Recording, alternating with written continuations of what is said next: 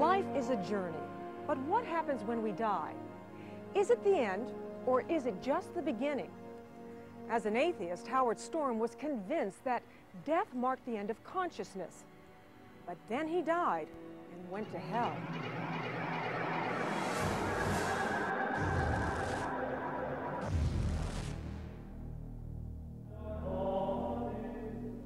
Eternal life with God the Father, Jesus and Mary, the angels, the saints, and our loved ones. It is the heavenly existence most God fearing people hope to experience, and which some have even claimed to have seen. Eternal damnation in the fiery pit of hell is a concept no one likes to consider. Yet it is a poignantly real nightmare for countless lost souls, those who die in a state of mortal sin, and self absorbed individuals whose lives here on earth had one common denominator the complete rejection of God and the denial of his existence. While on earth, they tossed God into the swirling sea of reasoning, a cesspool of ideologies and philosophies that claim man is master of his own fate, that powerful careers and making lots of money are the true measures of success, the formulas for happiness and fulfillment, and that in the end, all that is left, all that really matters, is our portfolio of personal accomplishments, the monuments to our ego. But after death, those human monuments come crashing down. Without God, there is only darkness and the frightening realization that hell truly exists. In the words of Protestant minister Howard Storm, it is the sewer of the universe, a foreboding place where lost souls feed off the pain of others. Storm knows this firsthand. In 1985, this self proclaimed atheist died, and to his horror, found that he had been banished to hell. Howard, thanks for being with us. We really appreciate this. Thanks for having me. I'd like to begin with just the issue of, of who you were in 1985, because by all measurements, you were, you were an, an average art professor, probably very good artist. Thank you. I've seen your work, so I know that you're, you're a good artist, but you were just the average person out there. You had not, as far as we know, committed any heinous crime Right, of any sort. right. And yet, when you die, you're sent to hell. And that could have been anybody out there who's leading a good life. Why? What were you? Who were you? Well, unfortunately, for, uh, I say that from my perspective now, we are all sold a bill of goods in this society that, like, being good is good enough. Um, and what we mean by being good is if you don't um, kick the dog and, you know, aren't too nasty to your wife and kids and uh, pay your taxes and don't break the laws in any conspicuous way, that's good. And um, being self-centered and manipulative and me first always kind of attitude is encouraged in our society. So I look upon myself then as living the American dream, and I think many people would say I was, um, you know, on the right track. But that's not why we're in this world, and not why we were created, and not what is expected of us to do with our lives. And that's what I learned. You were self centered, but you were also so self centered that you didn't think there was any other force out there that would determine your future, like God. You did not believe in God? Now, sometime when I went to college, I was 17 years old, I just gave up on the whole God thing. And, and you know, my philosophy professor ridiculed it all as uh, like Sleeping Beauty and Snow White and the Seven Dwarfs and stuff like that. And these are, basically the idea was religion was um, the opiate of the masses. It was like for addled brain people that couldn't deal with the harsh reality of existence. And um, I thought I was way beyond religion into a, s- uh, existential, um, very materialistic, you know, very hedonistic kind of life, which I think, from my perception, is the prevailing culture of our society. And you were building your own human legacy, which you thought would help live, see your name live on forever and ever, long after you were gone to nowhere. Right. What were you doing? You were you were creating works of Well, art. I, you I was doing painting and sculpture, and I was having um, my own small success. I was named Sculptor of the Year in the state of Kentucky. That was a biggie for me and stuff like that. You know, sell some work once in a while, win a prize, and um, you know, there was always that next level you were trying to get to. You know, as soon as you made one level of success, it was like you set your eyes on the next one, always striving, always working to to prove, basically, that you were of worth, that you were of value to the world. And, uh, but you had some struggles during those times, obviously. Who did you turn to? What did you turn to? You, I know you had some sort of um, religion instilled in you when you were younger. You didn't turn back to that at all? You never felt like you should? There was never that gnawing feeling? No, because um, as an academic, we all ridiculed those things. So um, when I, I'm not proud of this, but who, who I turned to was alcohol. Uh, you know, um, going out, um, staying out all night with my friends, and going to hip artsy bars in Cincinnati, and being really cool and listening to jazz music and getting um, int- intoxicated to the point where you're worried about whether you could make it home or not. I mean, that, that was my religion. Um, and it, it's also an anesthetic because inside of me there was a great emptiness, a great darkness that I couldn't fill with anything. And you felt that? You yeah. felt that void? And, and unfortunately, there were times when um, I really thought about killing myself because it was like, is the pain of being alive, and I'm not talking about uh, an acute pain. This is like a, the pain is more like a numbness. Uh, it's hard to explain. The angst of being alive, is it worth it? You know, wouldn't it be better just to drive the car into a, you know, bridge abutment and put an end to it? And so in 1985, you- what, how old were you? About 30, 38. 38 years old. You're in Paris with your wife on, a, on an art convention of sorts. Right, art tour with a bunch of students. Right. I had a, um, at 11 o'clock on Saturday morning, I had a whole break in my small stomach, which is the duodenum, and it may, I may have had a um, ulcerous condition that I was unaware of, or it might have been from a foreign object, like a small shard of glass or something. I don't know, but I was um, taken to the big city emergency room. But wait, wait a minute. You collapsed on the floor, though, in this. Oh, You're yeah, yeah. writhing in pain. You're Yeah. writhing in pain. It, um, without any exaggeration, it was like being on fire inside. like rats were eating you up inside. Yeah, There was an was, uh, acid release that, were, that was Yeah, literally the, eating uh, your inside? The things that dissolve your food, the hydrochloric acid and the Uh-huh. enzymes and things, were leaking into my abdominal cavity, literally digesting myself on the inside. So it's kind of eating myself up. huh. And it was uh, the most acute pain I'd ever experienced. And they called an ambulance, Yeah. and a doctor comes with, diagnoses. Oh yeah, they knew exactly what was wrong. Sent me off on this wild ambulance ride through Paris. With a shot of morphine. Only Yeah, one shot. Yeah. Okay. And as he explained, it was only enough to get me to the hospital because he said, you're going to have surgery as soon as you get there, and I can't give you any more because it'll interfere with the anesthetic that they're going to administer when you have the surgery. And uh, our understanding then and in emergency was this is an extremely grave situation, like having a burst appendix. But if you get right on it and do surgery, uh, four weeks, six weeks later, you're pretty good shape. Eight to 12 weeks later, and you're good as new, no problem. If you let it go, it's fatal, you know, uh, um, because of the uh, um, damage that it does to your insides, which is um, the infection of peritonitis and the digestive juices messing up your organs. So I was sent from the emergency hospital over to a surgical hospital um, several blocks away. And unbeknownst to my wife and I, there was no surgeon available at the surgical hospital to do the surgery. So they parked me in a room and left me there for 10 hours. And the doctors in the United States told me that my life expectancy from the beginning of this incident was about five hours. So I was in really bad shape. Um, Yeah, they the kept pain- coming in and telling you that it would be soon, it would be soon, and then eventually they said the only doctor there had gone home. Yeah. And they couldn't give you any, any more morphine or any pain reliever because a doctor I was never had- given any a doctor had further medication because only the doctor could prescribe medicine. I was never seen by a doctor from the time I went into that surgical hospital. So, so they come in, they say, look, the doctor's gone home, you can't have the surgery today, Right. This is And- about 8:30 at night now.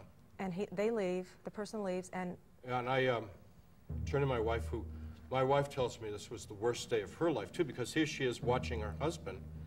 Um, she's just losing her husband. My wife was an attorney then, Yeah. and she, you know, a woman of some capability and power and influence in the world, and to watch your husband just gradually die in front of your eyes and nobody cares. I said to my wife, it's time for us to say goodbye. And she got up from the chair, which was next to the bed, and she put her arms around me and kissed me and held me. And we told each other how much we loved each other. And every, every time I go down this road, go it, ahead. makes me sad, but you know, to say goodbye, I mean, and we knew it was forever. And I knew that when you die, I mean, I knew this absolutely positively. When you die, that's it. There is nothing else. We are a, this is what I knew. You're a biochemical organism made up of 75 trillion cells or whatever. And when the organism ceases to function, the biochemical, you know, uh, functions begin to fail and you lose consciousness and then you're dead and then your body rots and that's all there is. And anything that would be left of you would be like maybe your kids or something would remember you for a generation. Or maybe if you made something like a bridge or some artwork, you'd be remembered for a little while. But that was it. I mean, I, I knew that, absolutely. And everybody I knew knew that. You know, this was, I mean, this was a certainty. So when we said goodbye, I was saying goodbye to oblivion. And uh, eventually, she was crying so hard she sat back down, and I um, closed my eyes and went into unconsciousness. And you, before you went into unconsciousness, you felt a bit of relief too that you could escape this horrible pain, and, and it, was there a feeling of sort of calm about it as well to you? Yeah, I wanted, I wanted to die because there was, since they said there wasn't going to be a doctor until the next day, and I had felt for many hours like I was dying. And uh, medically, I had good reason to feel that way because I, I really was dying. Um, and the pain, which had gone from a pain that, I mean, I was a big, strong guy, 38 years old, had played football in high school and stuff like. This pain threw me down to the ground, kicking and screaming and yelling. And from that point on, it just went worse and worse and worse and worse. I was ready to be out, you know. I, I was ready to be gone because I can't do this anymore. You know, you can do it for one hour or two hours or three hours, but I was at mm -hmm. the point of like close to 10 hours and I'd had it. So I, I was ready to go. And so here, um, you know, people ask me all the time, um, were you dead? Well, it's an impossible question to answer because I had no medical attention. No one ever took my temperature. Nobody ever put the uh, uh, blood pressure cuff on me or anything. So nobody, nobody was examining me. But um, the fact of the matter was, uh, it's, a, it's a ridiculous argument. I was dying um, as much as anybody can be dying in that state. Mm -hmm. So you go into unconsciousness, yeah. and then what? To my... The shock of your life to my complete surprise, I was standing next to the bed that I had been lying in, and there's my wife, and I'm standing up, and I, I, I know the situation. I'm completely clear about my problem, and I know I have to have surgery, and that I'm sick, and I have a perforated duodenum, and all that stuff. But I, I feel pretty good. Matter of fact, parts of me feel um, quite good, better than they've ever felt in my life, really alive. And I try to communicate with my wife, who it appeared to me, was ignoring me. You were next to her? You were I was on the level? other side of the bed from her. Okay. And I um, thought she was pretending that she could neither hear me nor see me. Of course, in fact, she couldn't hear me or see me. And then I realized that the bed that I had been in was occupied with a thing. And as I examined the thing, which was covered up to the neck with a sheet, um, and bent over and looked at the face, which was turned away from me, turned towards my wife, um, I realized that it looked remarkably like me. Now, this was all very confusing because how did somebody get in my bed who looked like me? Because it wasn't me, because I was alive. Mm -hmm. And I knew that the thing in the bed was, uh, it was um, um, non, an inanimate object. Mm -hmm. I knew that about it. Um, and so, you know, part of me was like, that's me, but how could it be me? Because this is impossible. Because here I am. Yeah, and so uh, I, I couldn't figure this out. So I turned to my roommate, who was a 68-year-old, very kind Frenchman by the name of Monsieur Florent, and I yelled and screamed in his face to find an answer to this problem. And he looked through me without blinking or any response at all, just as if I wasn't screaming in his face. Now, I couldn't, I didn't know why my wife would ignore me, but I couldn't figure out why Monsieur Florent would ignore me. I mean, and so I heard people outside the room calling me by name. And so I went over to the doorway of the room and I said, Are you from the doctor? I'm really sick. I have to have surgery. Um, you know, I've been waiting a long time. I'm, you know, I'm really in bad shape. And they said things like, We've been waiting for you a long time. It's time for you to go. Um, hurry up. We can't wait any longer. We know all about you. Let's go. Things like that. So I thought that meant yes, they were from the doctor to take me to surgery. And they spoke English, and nobody else was speaking English. Yeah, you? Yeah, I thought that was very weird because everybody else in the hospital spoke with a very thick French accent Right. or no English at all. But these people were, well, and also I thought, they want me to walk to surgery? You know, but after what I'd experienced in this hospital, uh, okay, it's, you know, it's the way they do things here. So I left the room, and when I left the room, I had a um, really bad feeling about leaving the room because the room, room was bright and clear and light. It the room was very bright. There was a lot of light in the room. And the hallway was um, hazy. It wasn't dark, it was just foggy and hazy and dim and very unclear. I went with these people, and I had a strong sense that um, I was leaving that room forever. And we continued on a journey that um, was What ridiculously long. What were they saying to you? They were saying, just come closer, and you kept following, or what were they saying to you as you were They were um, very insistent. Hurry up, hurry up. We've got to go. You know, we've waited for you so long. You know, we've got to take you there. Uh, They, they were very um, insistent and very clear about what they want to do, and there was about a dozen of them, and they were around What did they me. look like? Were they were they Uh, close to you? Men and or- women, um, very, very pale. Everything was gray. The clothing was totally plain and gray. Almost could have been like hospital scrubs, only pale gray. They were um, all adults, men and women, and they were very pale. Um, and I mean, they weren't particularly scary at this Mm-hmm. point. Right. And as we went along, they became crueler and more insistent. And When you say crueler, what Let's go. Come on. You're slowing down. Keep going. Keep moving. And they made fun of you too. Yeah, and uh, they started um, ridiculing me and things like that. And I started to get really scared, but what, where, where was I to go? What was we were in this um, endless space, moving along, and I didn't know where we were going, or, and I'm beginning to realize that this is not going to work out good. This isn't the hospital. They aren't from a doctor. I mean, I'm beginning. This all dawning on me that this is something's going very wrong here, but there's nothing for me to do.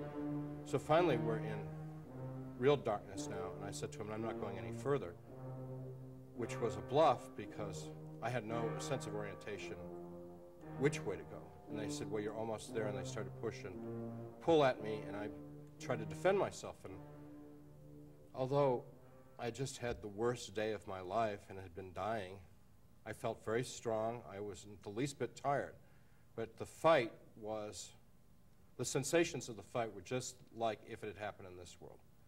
You know, when I hit them, I felt it. Um, when they harmed me, I felt it. But they had no sensation.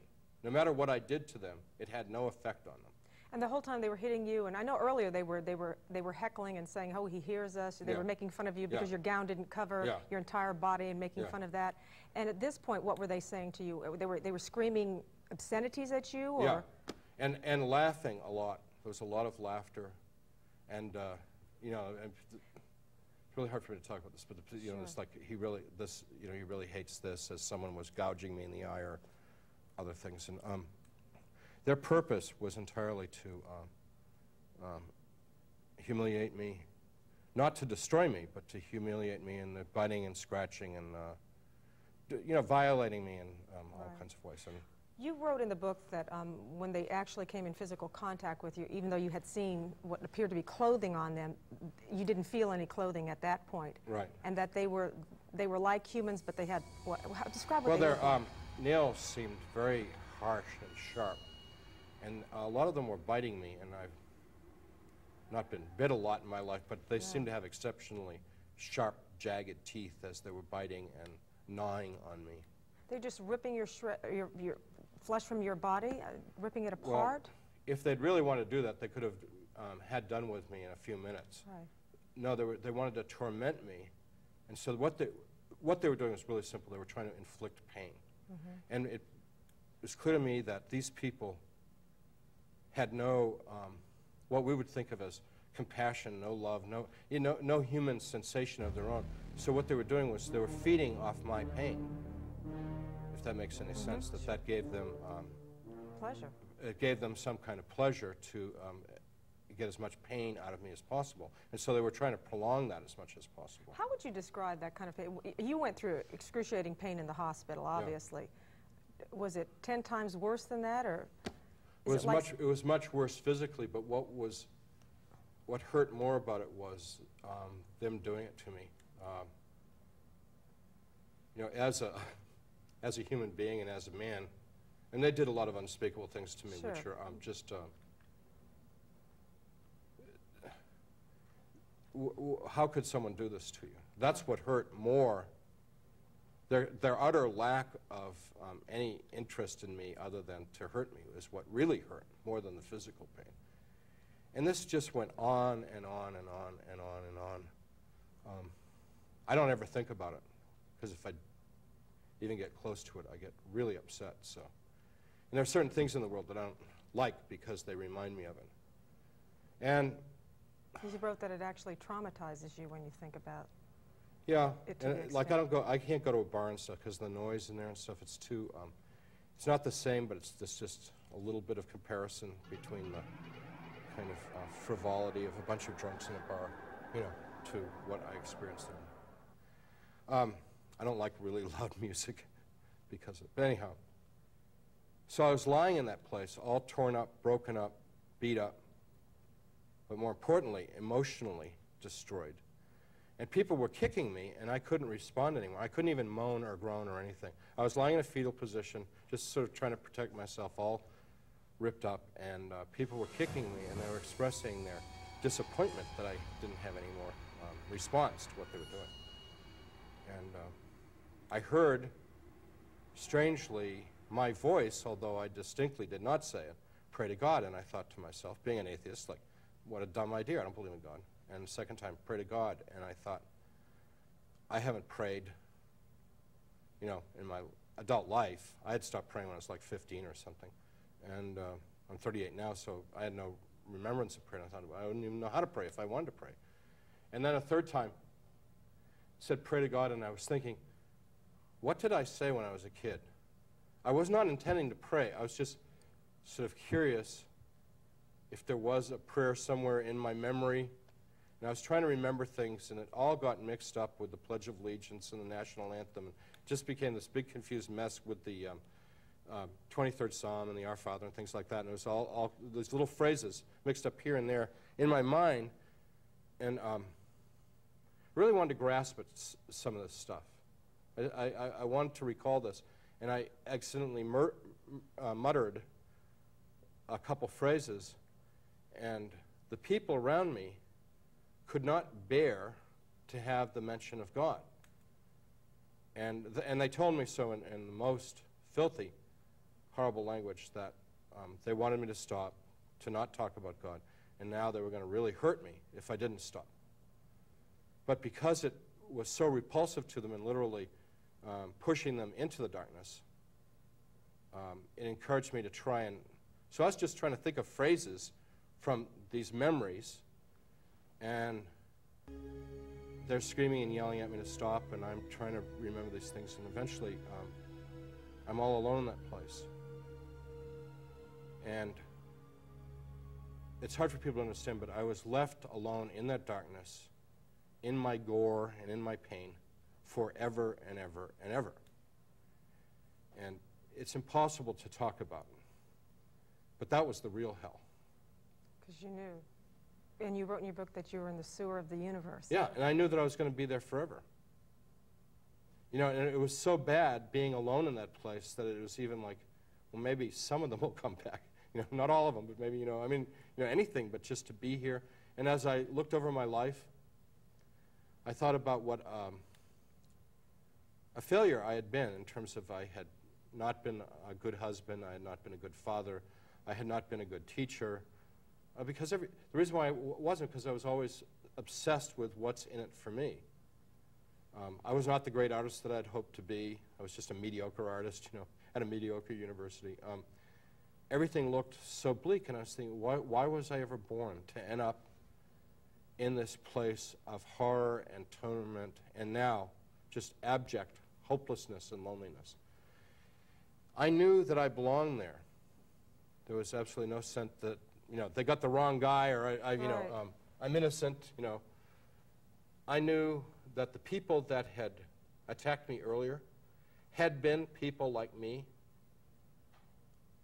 I, I'm not proud of this, I'm really ashamed of this, but there was a spiritual affinity between them and me.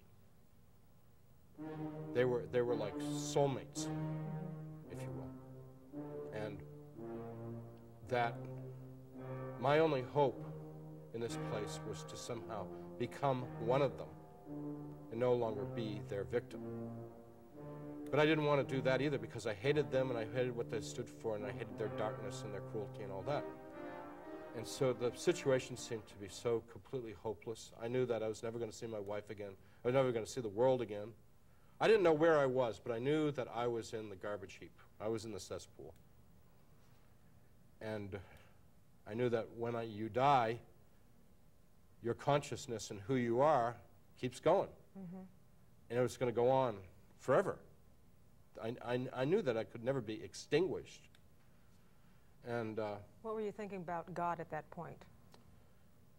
I got the strangest, vivid memory in my mind of myself as a child, maybe like um, eight years old, sitting in a Sunday school classroom, and we were singing Jesus Loves Me.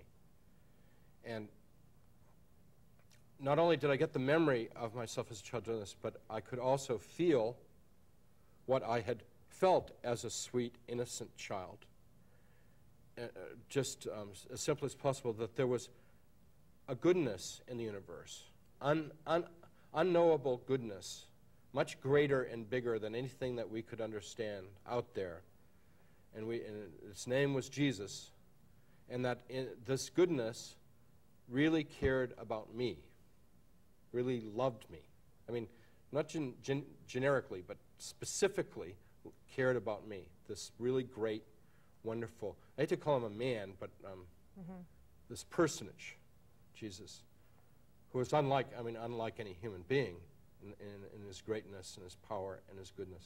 So this inspiration was being given to you at this point then? Uh huh. Okay. And it was a very d- powerful memory. Well, you can imagine, as deep in despair as I was, this was like, and this would be like giving the Hope Diamond to a, a, a pauper on the street. I mean, this is like, you know, I'm, I'm, I'm going to go for this because this mm-hmm. is like the first ray of hope I've seen in this whole scenario. And you didn't, you didn't think in some way you were hallucinating, this was a bad dream, it was all going to end. You just knew this was real. This was far more real than any experience of reality I've ever had in my life. People can understand this world is a dream compared to the afterlife. Now, people think, well, all I know is this, so the afterlife must be dreamlike. They're completely wrong. This is the dream. Your sensations are fewer in this world. Your, um, your, your uh, feelings and knowledge and abilities are much fewer in this world than they will be in the next world whether you're going up or down, you're going to have um, a much new sense of what it means to be who you are. And I called out in that darkness, not knowing if Jesus was real, but simply hoping, based on that childhood faith, that um, it would that he would be real. But I didn't, you know. So I said, "Jesus, please save me." And with that, a um, tiny pinpoint of light appeared in that darkness, and very rapidly got brighter and brighter. And then this huge, impossibly bright, white, warm light was over me, and I felt hands in this light picking me up into it, and also because I was now in light for the first time, I saw how horrible I was, and I looked like um, You weren't scared, though. no, um, I was amazed and in awe, but not afraid, because it was just so beautiful and like wonderful. And it was a little bit scary, but it was like just so great, you know. Um, and he, as he touched me and picked me up, all that gore, all that horror that was me, all went away, and I was made whole physically, but more importantly, all the pain inside of me was filled with ecstasy. And the ecstasy, quite simply, was, was the um, incredibly powerful sense of love that he was sharing me, that his love for me. And I knew several things immediately. One, that this was indeed who I'd called out to. This was Jesus. This was a person of great power.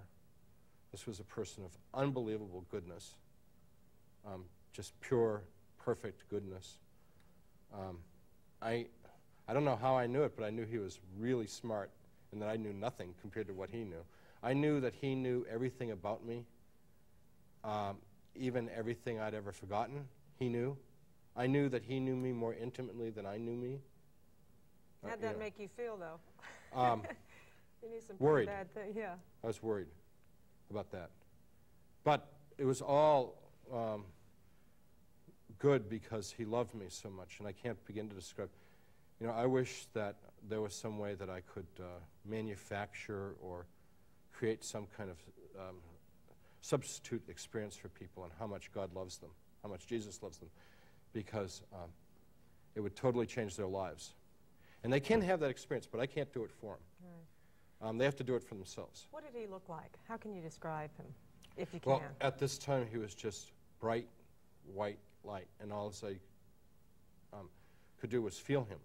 And he held me against him, and he embraced me, hugged me, and stroked my back like a, a mother would um, a lost child, you know, sort of um, there, there, and comfort me. And I did the um, only reasonable thing. I cried like a baby and slobbered on it. I was like really embarrassed because I was slobbering on it because I was crying so hard. And uh, he was rubbing my back and holding me, and then we began to go out of that place. We just went straight up and away from there. And was he alone? Were there angels around him? At this point, um, it was just he and I, and as we moved towards more light and more points of light, I became aware that all those points of light weren't things, that they were people like him, which I like to refer to as angels or saints, or whatever. And they were all moving, and way off in the distance was a great center of light, and we were moving towards that, and I all of a sudden felt terribly ashamed um, because I felt like I was such a piece of garbage, and this was so holy and good, and I thought to myself, he's made an um, awful mistake and I don't belong here. And so we stopped at that point, and he said to me, We don't make mistakes, and you do belong here. And I was quite taken aback because he hadn't spoken to me up until this time, and he was speaking directly into my mind. And I could hear his voice, but it wasn't coming through my ear. And I also caught on that he was also hearing what I was thinking, which was a little more disconcerting. And then he said, after we exchanged some conversation this way telepathically. Um, he said that he had some people he wanted me to meet, and he called out with musical tones. And some of these angels came and were, we're all in space now. We're not in heaven and we're not in hell. We're just in between. And they came and um, they, um, we made more talk, and they said that they wanted to show me my life. And interestingly, they had a complete record of my life these angels. They had recorded every minute of my life, including my thoughts, my feelings, including the feelings and thoughts of the people that I'd interacted with, including even things that had happened to the people that I interacted with that I wasn't aware of, like the bad day my dad had had at the office and came home and he and I had a fight. When I got to see what he went through. You saw everything or just bits and Uh, pieces? episodes. Episodes. Yeah, I didn't see my entire life. Um, we just went through episodes starting in a chronological order. And how did you see it? Was it you saw it in your mind? There was actually like No, it was real strange. It was like um, watching a play on a stage, and there were just actors, and there, and there were hardly any sets. So if it was like my mother and I talking, and my mother drinking coffee at the kitchen table, it was like the table and my mom and her, maybe a little bit of the linoleum, but the counters weren't there. Right. Because what they were showing me was that all that really mattered was how I had interacted with people, whether I had been a compassionate person or not. That's all they were interested in. We would get up to points in my life where I, I would, um, you know, have an accomplishment, like win a shot, an eight high school shot put meet or something, which was my big event in high school was shot put. And uh, they'd skip over, and I said, "Wait a minute! I just want, I wanted a shot put there. I worked really hard to get to that point, you know." And I said, "Well, that's not important. What's really important is um, this." And they'd show me how, how I'd shown a little kindness to a uh, really fat, uncoordinated kid who didn't know how to throw, and I was trying to teach him how to throw the shot, and I was like, they're going like, "See, that's that's good stuff." You know? So they showed you the good things, and when you when you looked at good things, it made them happy, and then when you saw the bad things, they became very sad. Yeah, um, and extremely disappointed. Um, I knew, fortunately, that they loved me, no matter what I did, but I knew that I majorly was letting them down, and that they very much disapproved of what they were seeing. But it was like, um, you know, we we had such greater hopes for you Mm. than this. And what was Jesus saying or doing at this point? um, holding me, loving me, and sharing his feelings about what we were watching in my life And with me. And as we saw the bad things become more prevalent and the good things less prevalent as I matured, um, I felt very, very ashamed. And I didn't want I didn't want him to see it, even though I knew, you know, I mean, it's ridiculous because he knows all this stuff. But I was like, I wanted, to, I, I wanted to, um, you know, hide, hide it from him. You know, don't watch this stuff. You know. Was he angry with you, or was he just disappointed? um, not angry, uh, very, very disappointed. Like a parent had would be with a Big, child. yeah, because he had really big hopes for me. Because he really, I mean, I was. It's a weird thing to say, but when you're in with Jesus, it's like you're the most special person in the whole universe. That's the way he makes you feel. You know what I mean? He just makes you feel that you're just the most neatest, wonderful thing, and, and all of his attention and the, everything in the universe has been about making you a beautiful child of God. And with, with all the hope for the potential that that could be. And um, I flunked. I flunked the very reason why I was put into this world, which is um, one, way of stating it is, as Jesus did, which is to love God with all your heart, mind, soul, and strength, and love your neighbor as yourself. That nice summary of what we're here to do, to love one another. And I hadn't, I had loved me. I made myself a God. Had you loved yourself over your wife, over your children? I'm sure you loved your family. Yeah, that, to, Because most people say, but look, I'm working hard for my family. I'm, Yeah. I'm, I'm, I'm doing the best I can. I'm, I love them, but I've got to do this, and I've got to do this, and that's why I've got to be away from them, and that's why I've got to Yeah. try to strive to become number one, Yeah. because they're going to benefit. I mean, that's right, the argument a lot right. of people make. Absolutely, and I, um, you know, this it hurts me to say, but yeah, I loved myself a whole lot more than I loved them. But it was the rationale, as you said, was, hey, you know, what's good for me is good for them ultimately, right? You know, Right. So I neglected them and emotionally um, cheated on them. You know, we don't want to go into that too far. Well, so you saw this view, and up to what point did you, they take you? Up until your to your marriage, until the till Oh your, no, your up to death? the to the present. Uh huh. It was uh, quite bleak, and I was so happy when it was over, because um, having been a teacher, I realized that I had not only had I not passed the course, I had flunked the course. You know, a- you're not Catholic, but a lot of Catholics would look at that and say, well, that's kind of like the purgatory we're taught about. Yeah, So it would be sort of like a purgatory, a yeah. And I heard a priest explain purgatory this way, which I think is really wonderful. He said, "Don't think of purgatory. This is a priest speaking. I'm quoting him. Don't think of purgatory as a geographical place. Think of it as a state of being." Mm-hmm. And um, I certainly believe that uh, we need to be purged or purified before we can go to heaven. even so, after our death, even though Yeah, we've oh, yeah. accepted Jesus, even if you've accepted Jesus as your Savior. absolutely, because none of us are perfect enough, pure enough to go to heaven. I mean, Mother Teresa would be the first one to tell you that she's, you know, she needs more perfection, filled with the goodness of Christ, and let go of whatever those little things that she might have been holding on to, you know, in her life. Um, so I thank God for that purgation or that purgatory or whatever.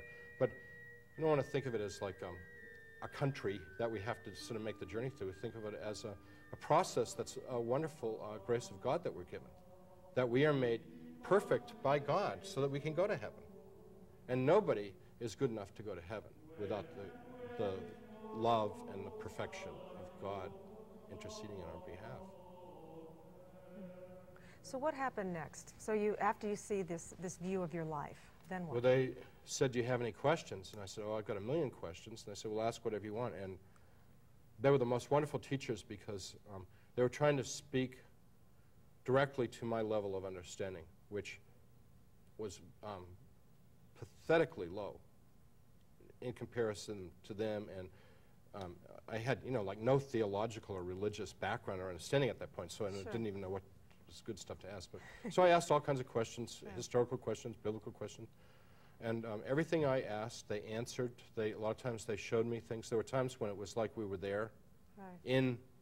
I would say, what would the future be like, and would be in the future. What what was this like, and would be there. Um, and it was very. Uh,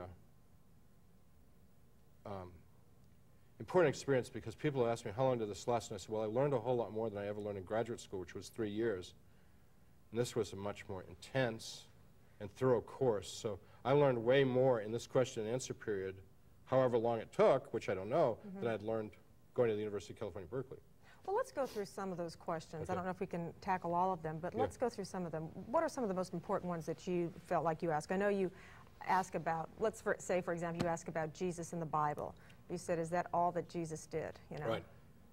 And they said that uh, it was funny because this is in the Bible. I didn't know it at the time, but they said that if um, if they'd written down all the things that Jesus did, it would fill all the books in the world. The world couldn't even hold all the books about what Jesus did when he was in this world. And you know, um, Jesus is alive today. Jesus has been around from the beginning and is still around. And the reason why Christianity exists, and the only reason why it exists, is because millions of people have experienced His love, His presence, His power. They've experienced Him in some way in their lives. Mm-hmm. And there are millions and millions of people, and there have been for over 2,000 years, that know that He is real.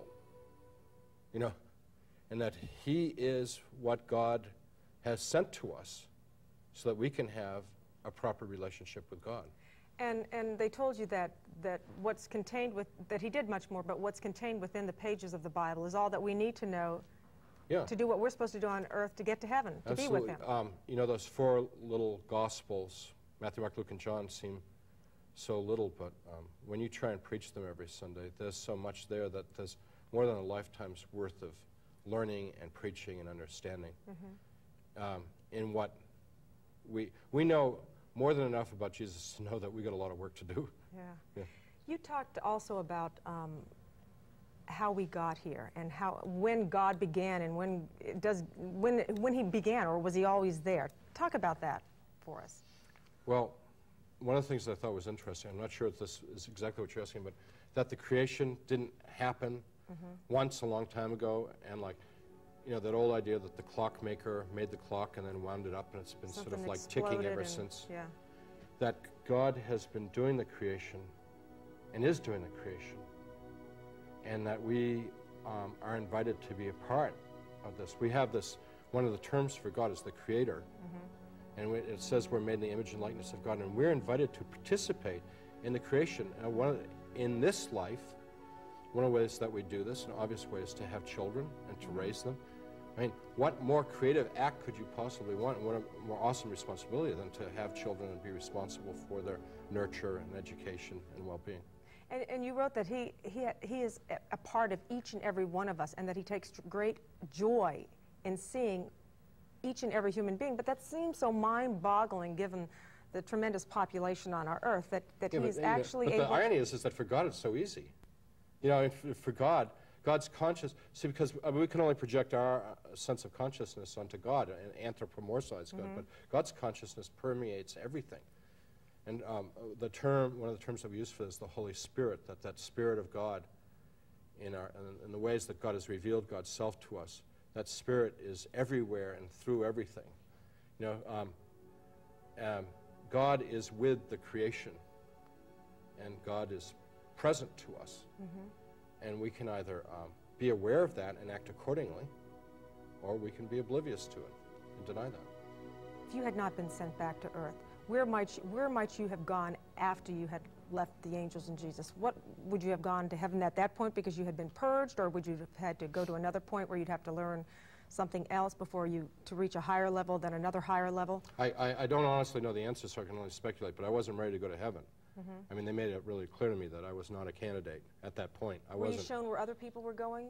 I, I think you wrote about maybe somebody by a, um, a brook reading a, a, a famous novel of some yeah, sort. there, there are places where I could have gone and matured spiritually in, in God's whole creation. But I, I have no, I can't comprehend it all. It's way too beyond my understanding. But you saw that? They gave Yeah. you a vision of that? yeah.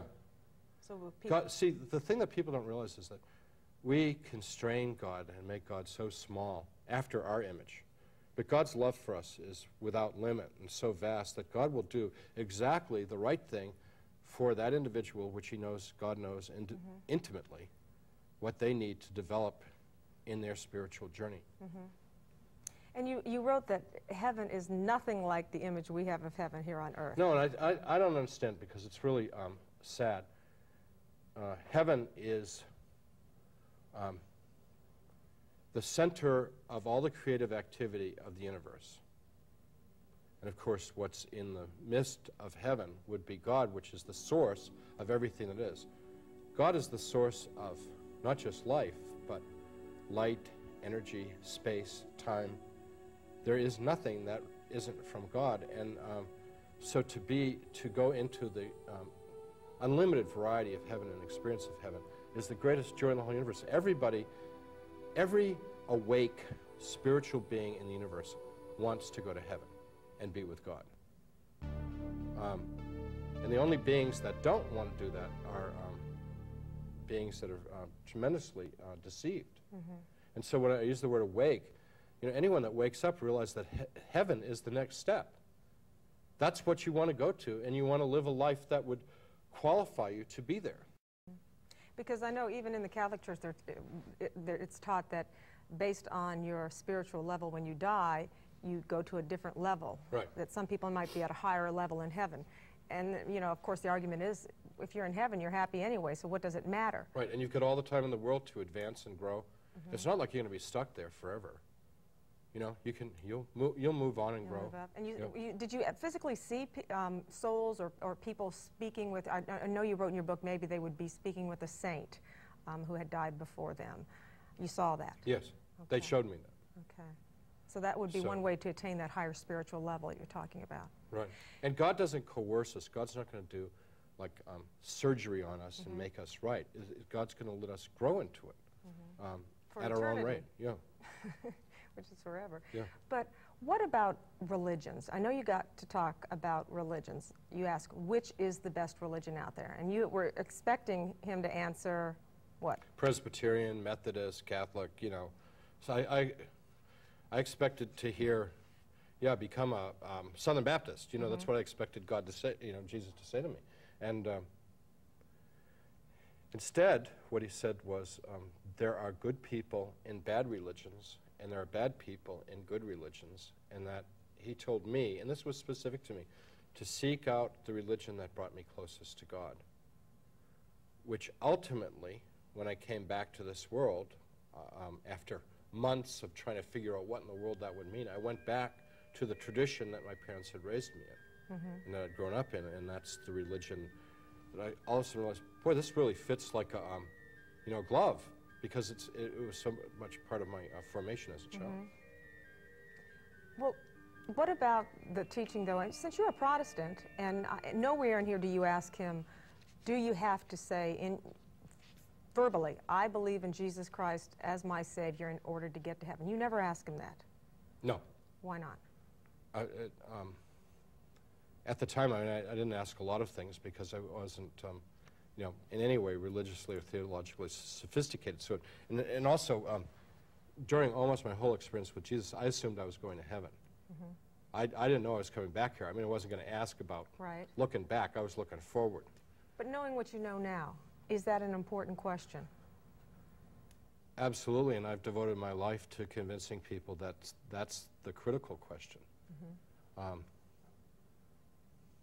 to make Jesus your Savior is to put your trust in Him and to the best of your ability, um, follow His teachings, to learn about Him, to communicate Him with prayer, um, to be His advocate, and to um, stand up for what He believes and what He's given you to understand and believe, um, even at your expense.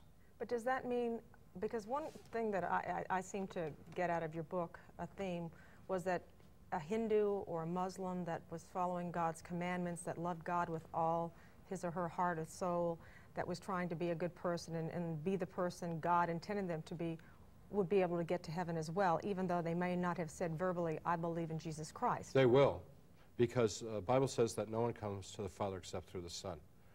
And that um, everybody, everybody in the universe, and I can point this out many times in the Bible, is going to meet Jesus. Um, if they have the spirit of love in them, they will know him and he will know them. You know, he said, I have sheep that do not belong to this fold. You know, um, they will know him when they die or. Mm-hmm. Yeah.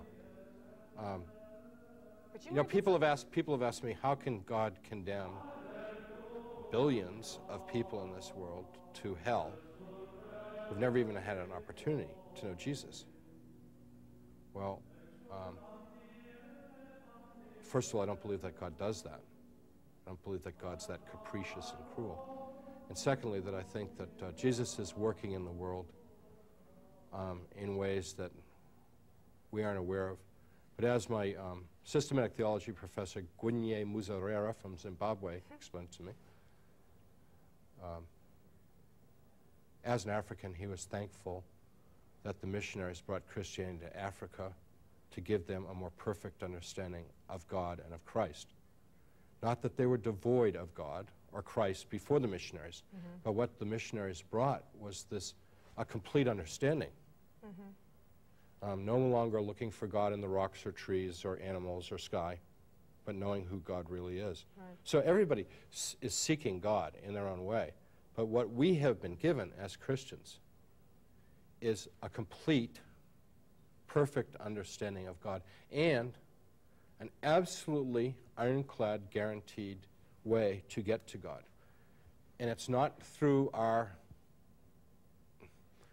becoming perfect saints, it's not through our good works, but it's through our trust in the one whom God sent to bring us home.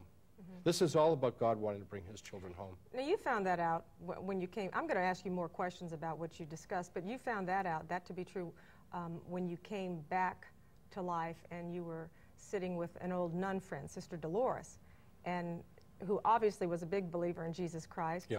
And you told her about she your married experience. Yeah. You she even had a ring. about your experience, and you were scared she wasn't going to believe you. And what were her words? When I told her my experience, she just looked at me. And I said, Sister, do you believe me? Because I didn't, and, you know, she's giving this funny look, and she said, Well, of course I believe you, but she said, I've got one question. And I said, Well, what is it? And she said, I wonder why it took so long. And I'm like, What? What, what, what do you mean, what it took so long? She said, she said, I've been praying for you for 13 years, ever since the day I met you and you told me you were an atheist. I've been praying for you every day. I have other sisters at the Notre Dame convent praying for you, and I don't know why it took 13 years. It should have happened sooner. Um, I'll always love that. So you think she prayed you into this then? She oh, absolutely, absolutely. If um, Sister Dolores hadn't been praying for me, I'd be, I would have died June 1st, 1985. It was through her prayers that commended me to God. Mm -hmm. You know how, like, um, when someone's trying to get into college, you try and get them good recommendations. Right. You know, if you can get a good recommendation from, like, a senator or something, you know, like, right. you know, they're going to get into the Naval Academy or into Harvard or something like that. Right. Well, um, that's when we pray for someone, it's like sending our recommendation to God. You say, you know, okay, God, I know this person's got a lot of problems, you know, and they're making some mistakes, but, you know, like, have mercy on them, right. be good to them, you know. And the irony was when she first came to the university and you had a talk with her, you said, look, sister, you can teach her, but I don't want you to preach. Oh, no, no, she wasn't no? a teacher. She was, she was, a student of mine. A student, yeah. okay. Yeah, I but said, I want you to preach. Yeah, I said, I want to hear any religion in my classroom. Um, that's, that was waving the red flag in front of uh, Sister Dolores. N not stifling her. She had no intention of preaching mm -hmm. in my classroom. It was um, my hostility right. to her and her faith, which was quite conspicuous since she was wearing a full habit with a you know, sure. crucifix on it and everything. You could stop her from preaching but not praying. Thank yeah. God for that, right? Yeah. right? Thank you. Appreciate it. Howard, thanks for being with us. We really appreciate this. Thanks for having me.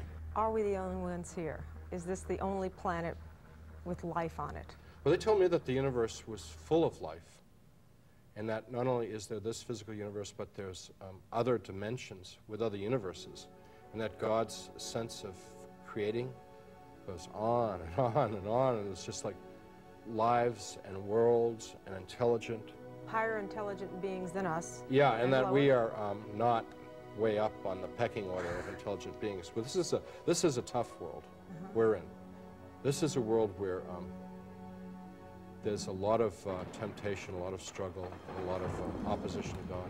What would you say uh, to people who'd say, well, where does it say in the Bible there are other people out there? There are other Do- worlds it out doesn't. there. It doesn't.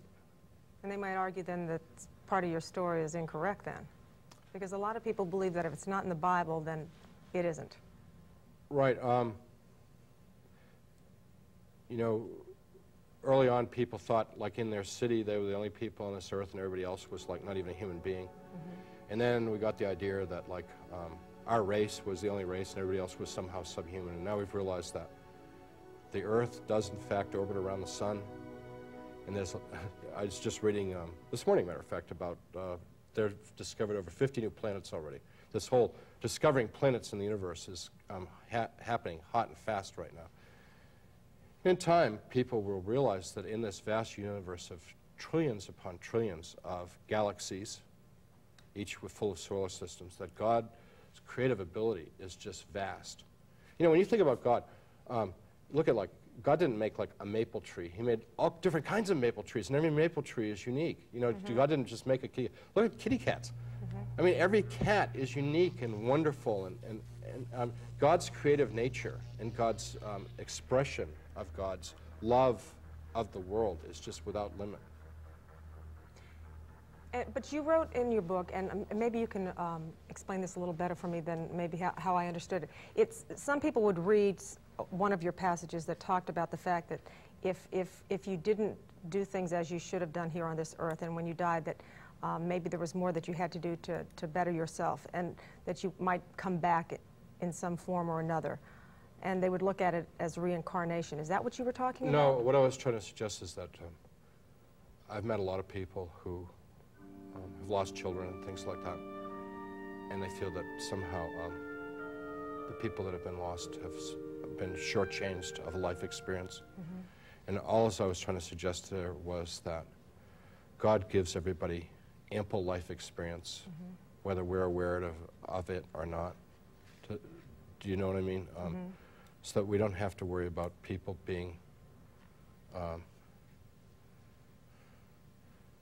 robbed of an opportunity to live because they will live somewhere, somehow, some way. And I don't know how, where, or way, but God does.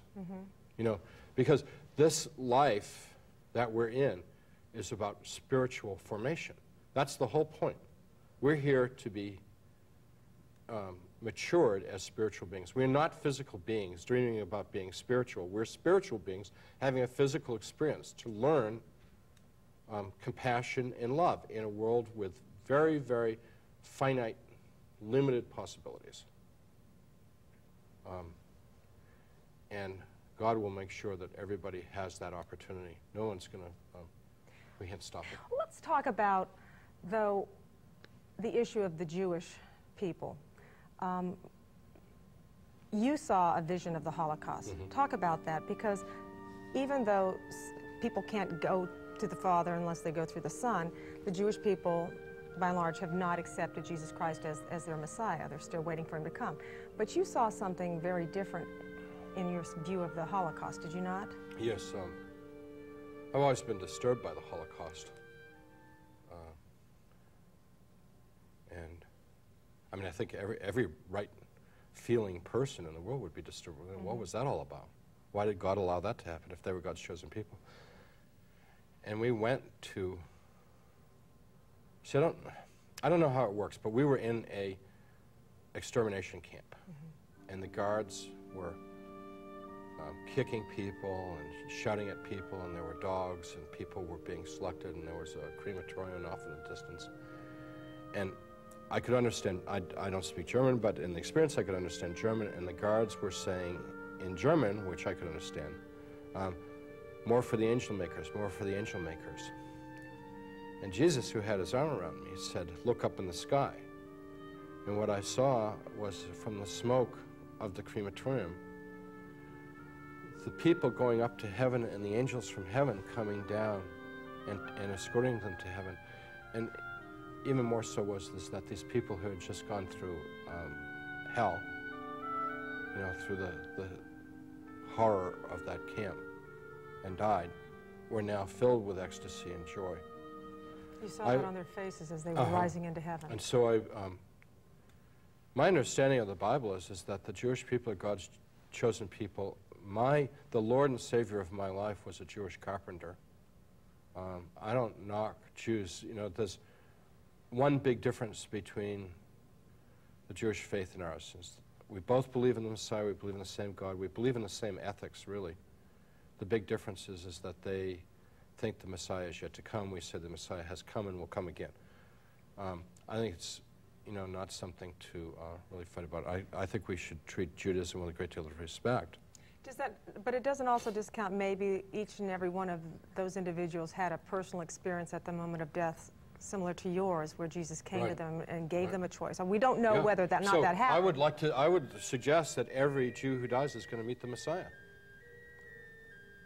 You know, um, everybody who dies will meet the Messiah. Will meet the Christ. And have an opportunity to accept or reject. Right, because it's all about what's in your heart. Now, I'm not talking, of course, about the organ that pumps blood.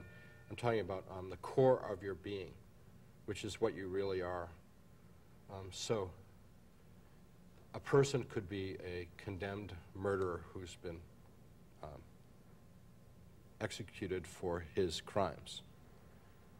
But he could have reconciled himself with Christ, with God, received God's forgiveness, and go to God because God knows that in his heart there was goodness, even though he had done terrible, terrible things. Conversely, a person may think that they're just the most righteous, mm-hmm. quote, religious person in the world. But if they've been ultimately cruel and created dissension and discouragement, I mean, every church has someone like that that just mm-hmm. goes around creating trouble. And it's like, you know, are you deliberately trying to destroy this church? You know, I mean, you know, and they're always the most self-righteous one too. You know, these are always the people that are like, you know, sure. pretend to be the most holy. They aren't going. They're going the other way because that's who they really are. The interesting thing about um, Jesus, there's no deception, there's no shadow. He knows us fully, exactly, perfectly, and you cannot lie in His presence. You can't hide. It's all out in the open. Mm -hmm.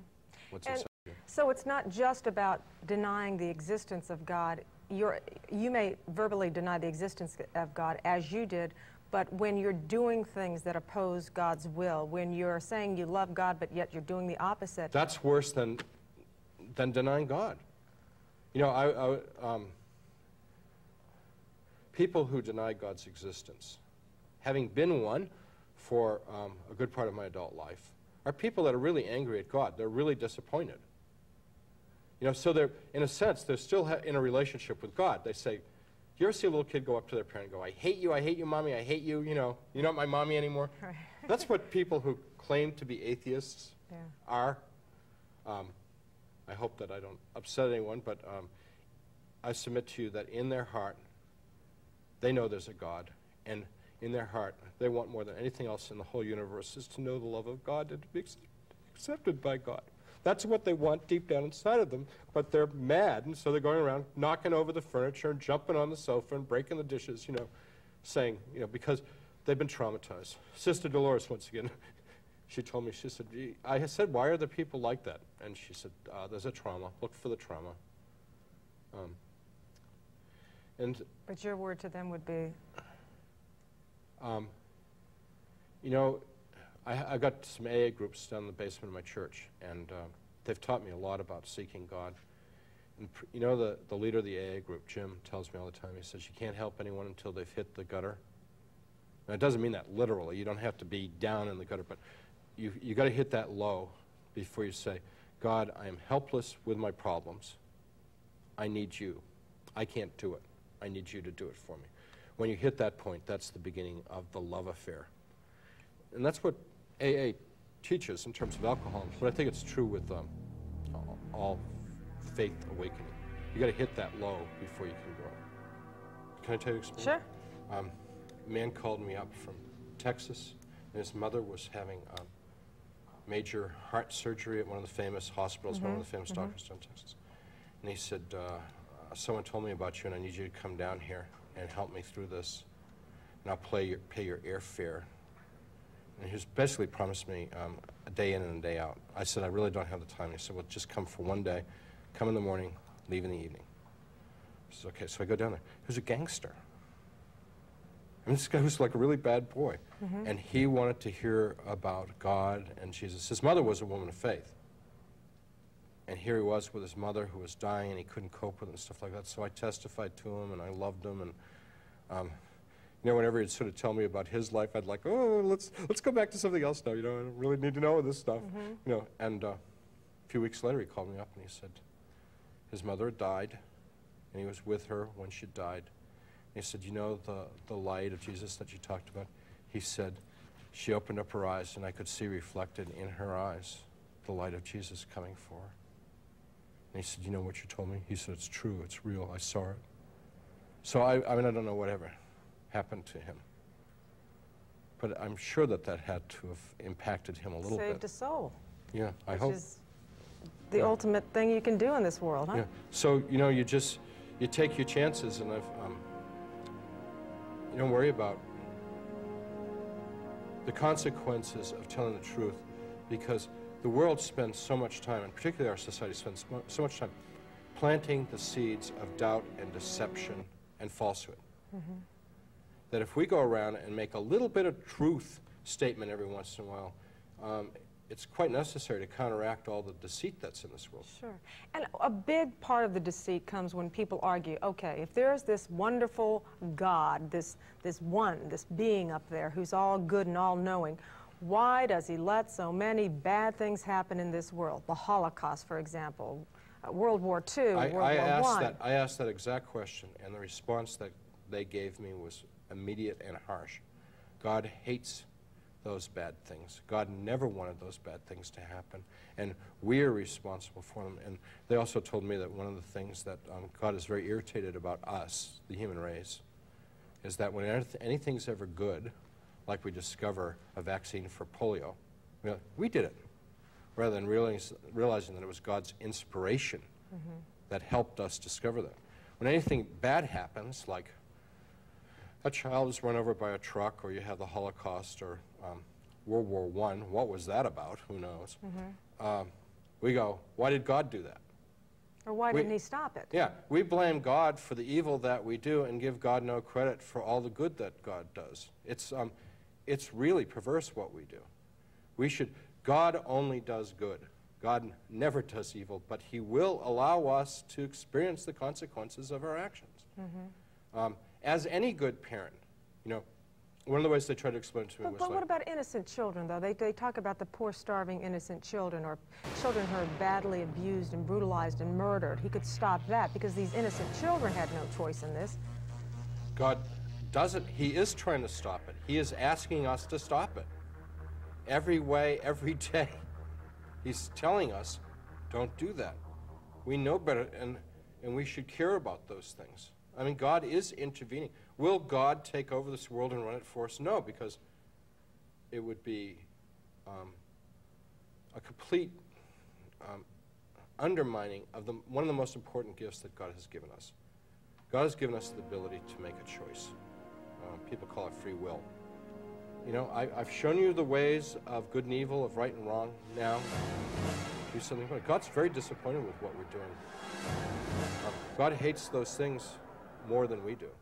You talked about the Cold War with him, and at the time it was 1985, and he said that the collapse of communism would come and things would end. And you said, no, that can't happen. That's not going to happen. Well, it seemed so absurd in 1985, and I told him that the Cold War was going to go on for hundreds of years, and he said, no, it's going to end um, bloodlessly in a few years. And It's just, um, I, I actually told him they were wrong. Couldn't happen. Um, God is working in the world, but the way that God works is not doing big zaps with thunderbolts and lightning and stuff like that. God works by ch- changing people's hearts, and God wants um, all of us to be working towards the same end. And sending leaders out there. I know when the Berlin Wall fell and communism fell in different places across um, Russia and, and East Berlin, the Pope was given a great deal of credit because of his message of peace and love of God. right? What did, how did you feel when that happened? You had been told this in 1985, and here it happens. It became. I, 89. I was just like, yeah. Um, well, here's here's the bad part because they told me some um, terrible things about this country, and I'm I'm really concerned, not for myself because I'm 54 years old, and so I'm like, hey, whenever heaven's ready for me, I'm ready to go. So What did they tell Um, you? There's going to be another war? that or? this country has been given an assignment to be a light to the nations. We are to be a moral leader to the world. Um, because we have been given so much. We're so Yeah, this- strong. This, country has been blessed more than any other people in the history of the world. Way more. We are the most powerful, richest people. All of this came from God. This is all a blessing from God. Our Heavenly Father gave us these gifts, and instead of being the moral leader of the world, we are the moral number one manufacturers and distributors of war materials and pornography and a violent lifestyle.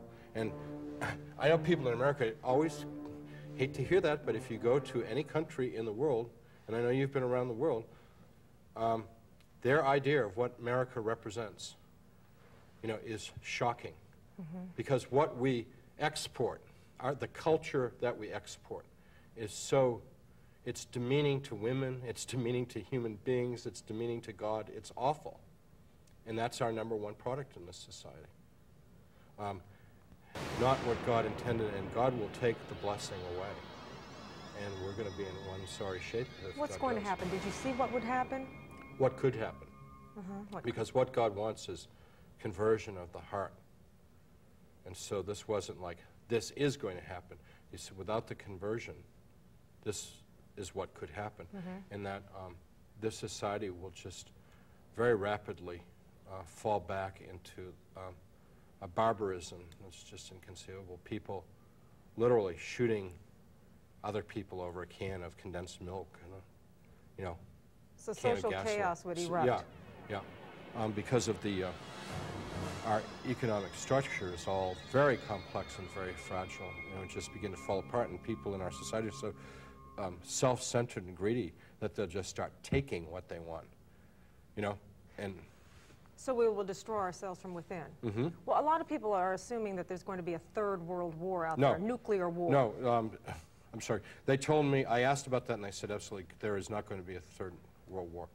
I was a product of um, post-war baby boom, so I've always been very concerned about um, hydrogen bombs and atomic bombs. When I was a kid, we learned to um, duck and tuck when I was at school, which was really pretty funny. Um, but I asked them, I said, is there going to be another nuclear war? And they said, no, God's not going to allow that to happen. God will not allow another nuclear war. Why? Did they tell you Because why? God, yeah, because God loves this creation the people, the birds, the rivers, the trees. And um, He's just not going to let us incinerate huge portions of it for our own silly gratification. So there's the possibility of this social chaos erupting and just destroying ourselves. And then what will happen? That out of that, um,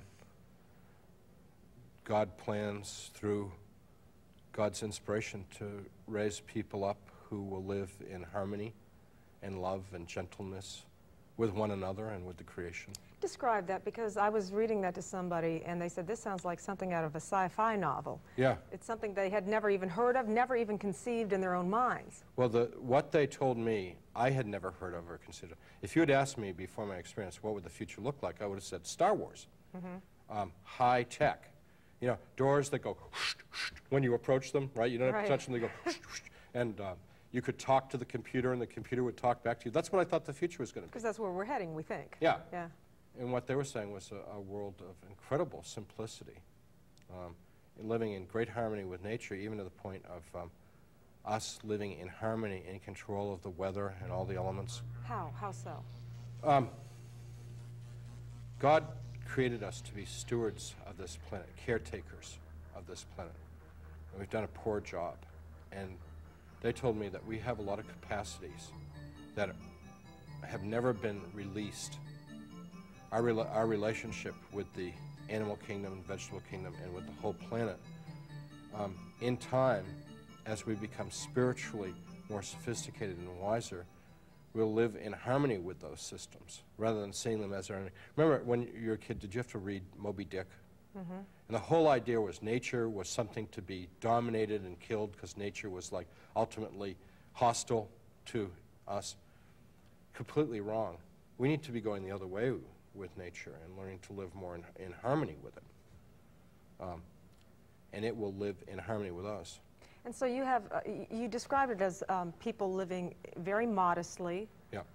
Um, and basically they only had enough food to survive and only enough material but they could grow food at will. Uh-huh. So they didn't need, I mean, they had no anxiety. You know, you know, I never thought of this before, just occurred to me. They lived the way Jesus and his disciples lived. Right. You know, And that kind of spoke telepathically. Um, all over the whole world and the whole universe. They could talk to people, intelligent beings all over the whole universe. And when People didn't fear death because they knew that death was just a transition to moving on to a higher state. People lived, first, first of all, they lived to love and nurture and raise the children. Everybody's number one priority was the raising of children. And they made it, Jesus and the angels made it really clear to me that that's what we should be doing. We should make children our number one priority. Secondly, they lived to love and support one another in their intellectual pursuits, their artistic pursuits, their um, musical pursuits, whatever it is people were interested in. People lived to support one another in that. And uh, people lived in harmony. They said when somebody got out of harmony with the rest of the community, the whole harmony, the, uh, the, excuse me, the whole community cared about that and was involved with trying to bring that person And when they got in. sick, they would pray them back to health. hmm There was, um, they eliminated sickness because when someone got sick, they would just heal them. Now, this was in 1985, and you said that they said this would occur in 200 years. Yeah. Well, I think it's pretty preposterous, but um, who am I to argue with God, you know? I mean, I told him, I said, it's ridiculous. I did. I, well, after you're around Jesus for a while, you, you know one of the things you realize? You can say anything you want to. I mean, you don't say ugly things, but you say what's in your heart. Sure. And that's what he wants to hear from us. He doesn't want hypocrisy. He doesn't want formality. He doesn't want nonsense. He wants from your heart, from the core of your being. What do you really think? What do you really feel? Um, he understands. He's been around. You know, there's nothing we can do to surprise Jesus. So what happens after that, then? Um, How long does that, that life I don't know. I don't know. It's, that's not the second coming. That's just a better world, making the world more the kind of place that God created it to be. Um, and I didn't inquire Sort of a that. heaven on earth? Well, compared to the world the way it is today, it would be paradise, but Right. it's not because people would be born and raised and have accidents and die. Um, I mean, it's not eternity on Earth. It would still be Earth, and the same laws of physics would apply. We would just live in a much more um, sophisticated relationship with our environment. Which means because our relationship with the environment was so much more sophisticated, it's actually much simpler. Right. Yeah.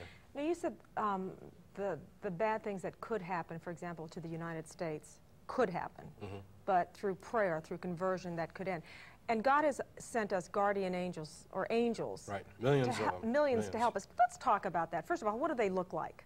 Well, I've seen the guardian angels in many forms, and they can take different forms because, um, well, first of all, they can appear to be just like a regular person, and you don't know it.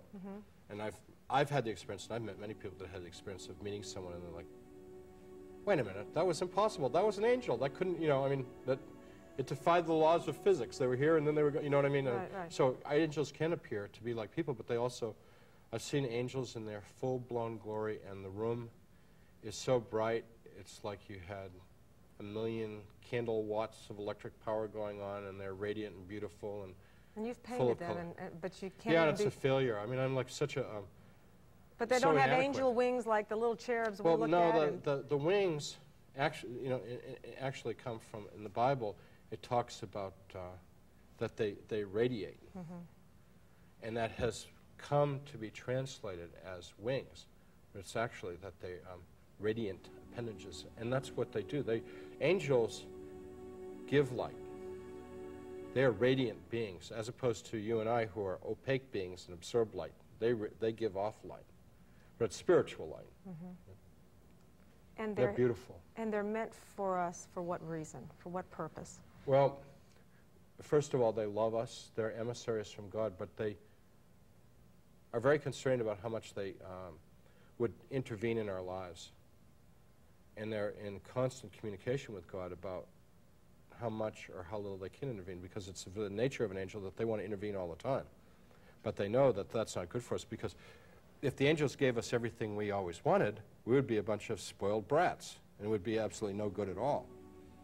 Um, so they love us, they're with us, they take our concerns to God, they help us in subtle ways. Protect like us. Who, yeah, who hasn't had an example of um, you lose something and you finally, after looking for it and looking for it, you say, oh, God, send an angel and just help me find the, my checkbook. And all of a sudden, boom, right? There it was all along mm-hmm. on the top of the desk. And you go like, how did I miss it? I mean, they do help us sometimes in, in lots of languages, but one of the ways that they help us is they're constantly trying to point us in the right direction, which is of love and compassion. Mm-hmm. And um, but you said also in your book, you, I would like you to clarify this. You talked about how um, maybe even if we die, we can sort of become guardian angels for loved ones who are still back uh-huh. here. You don't mean transforming into an angel. It's sort of just, you used it as They said that some, some people that have like a real attachment will be, can be around the people that they've left behind for because a while. Because we've always been taught that a human being cannot become an angel. Yeah, but we um, ultimately will be even greater than the angels. Right. But what you mean is a, a protector no, like I, an when, angel? When you talk about, I mean, this angel means several things. It can be any messenger of God. Mm -hmm. So mm-hmm. I could be like an angel. I could say, I'm being an angel to you, sure. you're an angel to me. But um, really, it's a class of beings who is created perfect and good and always does the perfect will of God. You know, they've never lived in this world. They've never, you know, gone through the struggle of making these choices between good and evil that we mm -hmm. go mm-hmm. through. There have been many reported apparitions, visions of the Blessed Mother, um, of Jesus, of other saints, all across the world throughout history. Right. And some have been approved, for example, some have been approved by the Catholic Church if they've been to Catholic kids or, or yeah. adults, and some have not. And a lot of people believe them and a lot of people don't believe them. What is your feeling about those well, instances? I mean, right now there's been a lot of things going. Ever since Medjugorje, there's been like a whole resurgence of visionaries in the United right. States, and um, even in Cincinnati, we have a whole big thing going on of visionaries right. and so like that. Um, I think it's good to try and um, use some spiritual discernment, and a simple test would be, uh, is it consistent with the scripture, or are you hearing weird stuff? Like I heard of a visionary in Long Island, I believe it was, that mm. said that Jesus wasn't the Christ and stuff like that.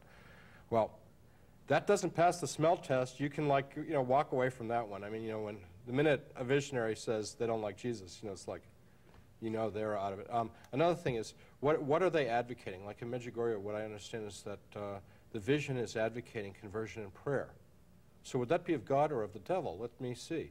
You know? Right. Um, so you look at, is it consistent with the Bible and what the Bible teaches, and is it um, doing, advocating good or is it advocating harm? Mm -hmm. And that would be a, a, good it. But you wrote in your book that God has sent throughout the ages emissaries of different yeah. sorts. It could be the Blessed Mother, it could be anybody, to help bring us back to Jesus, to God. Yep. Um, many of them, and even us, have been touched by them and didn't even know it. Like, how many of us, the faith that we have, we caught from like a grandmother, for mm -hmm. example, or an aunt, or a Sunday school teacher? So you know what I mean? In a sense, God has inspired those people to be that special emissary to us. But God is working. I asked, why doesn't God do something really big and convince everybody and put it to rest? you know, and I, my idea was like sort of turn the sky orange and then like in flaming letters, believe in God or else, or something like that, you know. And, I mean, who could dispute it, you know? Right. And they said, uh, that's coercion. God doesn't do coercion. It's got to be free choice. Because that's the tremendous gift he gave us. Yeah. That's why he loved us so much. Yeah. And that's what we're here to learn about. How do you exercise that choice? You know, um, and every minute of the day is an opportunity to make those choices. Obviously, and, and, and people would argue, everything you need to know is within that Bible.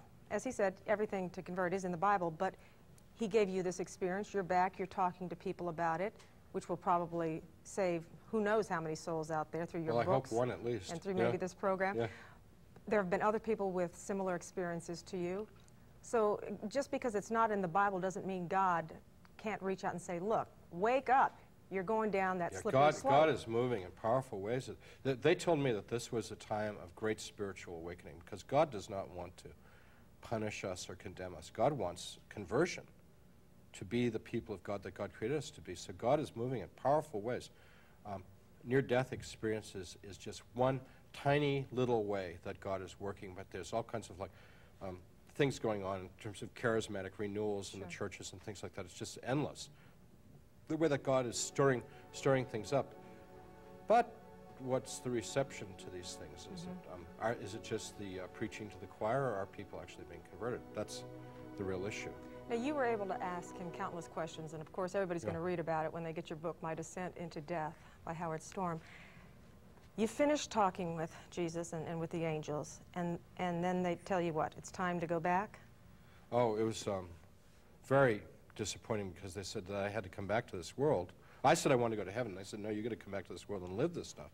And um, I said, I don't want to come back to this world. And we had a huge argument because I said the world's full of cruelty and ugliness and awful people and evil, and why would you send me back to a world like that?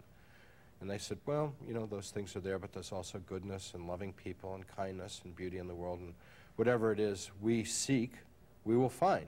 So if we seek beauty, we'll find beauty. If we seek loving people, that's the nice thing about um, going on the Christian walk. There's all the neat people you meet, you know. right. But uh, anyhow, we had this huge argument, and we talked about forgiveness and prayer and all these things. And ultimately, um, I thought I had something that would allow me to go to heaven. I said, "You can't send me back to the world because I will die of a broken heart if you do." Because now that I have known you in your love, speaking of Jesus and the angels, I could not bear to ever be away from you again. I absolutely meant this, and they knew I meant it. And they said, Haven't you been paying attention? We've always been with you. We always will be with you. And I said, But I never saw you before. I never heard you. I never felt you. I mean, when I go back, it's going to be like that again, right? And they said, Yeah.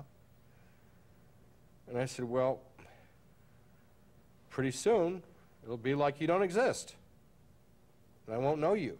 And I said, But there is a way to know us.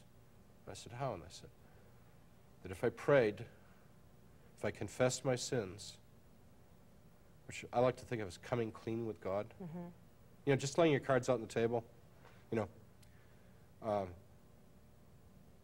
and prayed to God and left time to listen and feel God, which is like be quiet, be still, you know, wait on the Lord. They said, sometimes you would know we're with you. And they've kept that promise. And so sometimes I feel their presence. So I've had some experiences too, but so you said, okay, then I think I can go back? yeah. And then, And with that, I was back, and to my horror, I was right back in that body that had been in such terrible shape. lying on a hospital bed, what happened? and, um, immediately upon me coming back, the nurse who had been in the room uh, a little while earlier and said there was no doctor came back into the room and said, A doctor has arrived at the hospital. We're going to do the surgery right away. And they evicted my wife from the room and they prepped me and did the surgery that I needed. So you, they performed the surgery on you, and you're, you're back in recovery, and you wake up. How do you deal with all this when, when you're back? Well, it's a huge dilemma because I knew that what I had experienced was fantastic, to say the least. I mean, incredible. Meaning, who would believe me? Incredible. And when I tried to tell my wife and other people, it was incredible. They didn't believe me. They thought um, it was a delusion or hallucination or something like that. And um, for a while, that caused me to sort of withdraw from wanting to deal with people because it was, and I and I'd pray to God like if um, if you gave me this experience and nobody wants it, then why did you give it to me? And why'd you why'd you give me the memory of it? Because I think a lot of people have these experiences, but they don't remember. I know several people that have had experiences, but they say, I can't quite remember it. Yeah. But I have a vivid memory in mind. Vivid detail. Yeah. But you're, you're laying in there and you, and, you, and you have this feeling or this, hear this voice that says, get some airline tickets, you're going home over the weekend or, or Monday or whenever it was, Yeah. in a few days. And you didn't imagine that could be possible because uh, you were really, you had just had a major Yeah, operation. this was, that was on Tuesday, and I'd had the surgery on um, Saturday night. But your wife comes in, you tell her to go get the tickets and. Yeah, she goes, uh, I mean, this is all so bizarre, people won't believe it, but it's the truth, absolutely. Um, she walks out in the hall, goes to the payphone, calls collect her mommy and daddy in Iowa City, Iowa, and says, we're in trouble, I need a couple thousand dollars, we gotta come home. They said, give us your phone number, we'll call you right back. They called their bank, their banker, and uh, he said, what a coincidence, I just came back from Paris and we had an emergency and I had to wire money over there and I know how to do it. Tell it'll be at such and such an address in 10 minutes. Uh, you know, if you ever try to get w- money in a foreign country, you know it's like Sure. weeks. I mean, Right, it's right, impossible. Right. But this banker knew how to do it like now. My wife comes back into the room. She says, I've talked to my parents. Um, they're sending the money. I'll be back in an hour. She leaves, comes back in about an hour with two TWA airline tickets to go back to the United States on Monday morning, which is what I told her to do. And I said, what in the world have you done? She said, you told me to get the tickets. And I said, yeah, but why did you do it? That's crazy. I'm sick. I'm going to be here for a month. You know, I can't go home. Um, but I did get well enough to come back to the United States because I needed the attention of an American hospital. But you had a guardian angel visit you in the hospital before you left. Oh yeah, um, actually several different ones. Um, but the One was like, came in, in the form of a young doctor. mhm, that was the one that I was most f- most fond of. He um, was in his early 20s, blonde, short, uh, short hair, um, wearing uh, white short sleeve um, scrub, white pants, white shoes, and a white belt. And he, we had a long conversation, but basically he told me that he was going to watch over me, but I might never see him again, which I thought was pretty weird. Like, And he walked into the room, it lit up, it was Yeah. bright. know, And when he left, it, the room went back to dark again. And when the nurse came into the room, I said, who was that doctor that was just here? And she says, there's not been anybody here. I said, you don't understand. That was a young man. I described him to her perfectly. She said, well, my desk is outside your door. No one has been in your room. I was like, all right, who was that then? You know, where'd he come from? But I always felt that God gave me his presence to help me because it's um, scary being really sick and trying to recuperate in a foreign country and stuff like that. And that did. That did the trick. That gave me the confidence that I was going to be okay. and you got back home and they told you you should have been dead within five hours. And it was, Yeah. And when I got back, when I came to the United States, they, I had uh, extreme peritonitis, double pneumonia, collapsed lungs, and um, no liver function. And I was put on the critical list at um, St. Luke's Hospital in Fort Thomas. And I was on critical for five weeks. I was really sick, but I didn't. Um, and you thought you were going to die though, didn't you? yeah, and I and and I'm ashamed of this, but I wanted to die because um, I just wanted to go to heaven. I just wanted to be with Jesus, and I didn't have anything else in my mind except I wanted to go back to that. And if you knew him, you would just you would understand. You know why I, that's what I wanted to go back to. So I wasn't cooperating in my healing. Um, I couldn't eat. I couldn't take anything. Uh, I was getting weaker and weaker and sicker and sicker. And I'm, I got to tell you the story. Um, a night nurse by the name of Lisa came in one night, and she she was about the only person in the hospital who had been listening to me talk about Jesus and His love and all this stuff. And this sweet little Lisa, real recent graduate of a, AA program in nursing, got an associate's degree. She said, "I'm going to make you a milkshake. I'm going to go down to oncology and make you a milkshake and get you well."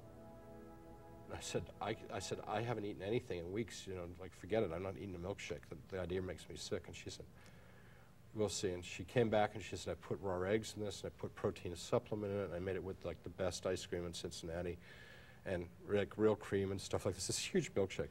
And I said, Lisa, just the smell of it makes me nauseous. Get it out of my room. And she said, listen, I made this out of love, and you're going to get well now. And she stood there for over an hour while I sipped on that stupid thing and drank the whole thing. Now, she probably could have gotten fired from the hospital for doing this. But, I mean, she was absolutely inspired by God to do this because there's no reason in the world why she would have done that for me, you know. And, and from that day on, I just started getting better. And while you were laying in that hospital room, you also um, kept hearing somebody, a patient in another room wailing. Oh, yeah. That was a beautiful experience as well. So, so sad. A man across the hall whose name was Clarence Uh-huh. had extreme Alzheimer's. And all he did was make um, sounds like a uh, wild animal, really loud though. He was also a biter. And every time a nurse I'd see, I'd see a nurse or something go into his room. A few minutes later, ah, you know, like Clarence, don't bite me. You know. um, he, he couldn't make any um, rational sounds, and his wife stayed in the room with him. And she was a sweet woman. And I felt so sorry for her and for Clarence. And one night, he was driving me crazy. He, he would wake me up in the middle of the night with his howling and his screaming, and nobody could calm him down. And it was like a wild animal. And, uh, and it's like, man, I'm sick. I'm trying to get well, and this guy's like making me sicker, you know, with his noise. And so I said, I said to God, I said, what, what is this about? Why, why do I have to be, you know, in a hospital with this like crazy man, you know? And I was shown that what he was doing, Clarence was still Clarence, way deep down inside that diseased body. And he was just, Clarence was basically yelling, I'm still alive, I'm still here, I'm still me. But he wasn't able to express it. Uh-uh. So it's just coming out in all these strange, contorted ways. And then what did you do? I started to pray for him, you know? And I thought that uh, he and I became buddies after that, although I never saw him. Didn't you yell out something, or Clarence, I, I, Yeah. I know you're there, Yeah. and it calmed him when he did that? Mm-hmm. I yelled, I yelled to him I said, Clarence, I'm hearing you now. I finally understand what you're saying. And that calmed him? Yep. Somebody heard him? Yep. His cries Nobody heard else heard him. Well, you couldn't hear him because it just was just noise. Now, eventually you're released from that hospital. And I have to also point out, there was no evidence on paper that you received that said you actually had died in that Right. Paris hospital. Right.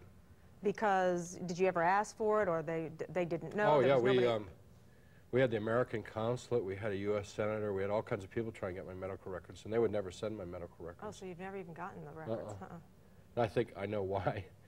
Because of what they didn't do? Yeah. You're right, the lawsuits. You get out of the hospital, and eventually you recuperate, and you're back at the university? Mhm. And how, how do you deal with that? You're back in this environment where you were in before, a very heady intellectual environment with your friends around, all non-believers, I assume. Well, I wanted to show them Christian love, and um, they asked me to be the department chair. Um, and so I became an administrator. And I did my best to take care of their needs and to love them and to get them the best raises I could possibly get and get them the equipment and the facilities and the materials that they were all hollering for all the time. But um, they were not interested in my message, and in fact, um, some of the administrators over me told me to never ever mention my experience or God or heaven or Jesus or anything ever They thought ever. you were loony. They thought you were making it up. Um, they despised it. They hated it. You made them angry. Yeah, I mean, I had people say to me, sidle up to me and says, you know, you don't really believe all that crap you've been saying. You know, you don't believe that, do you? You know, like, well, yeah. I mean, I mean, people, they don't want to accept it because if they were to accept it, then it would challenge the whole structure of their thinking.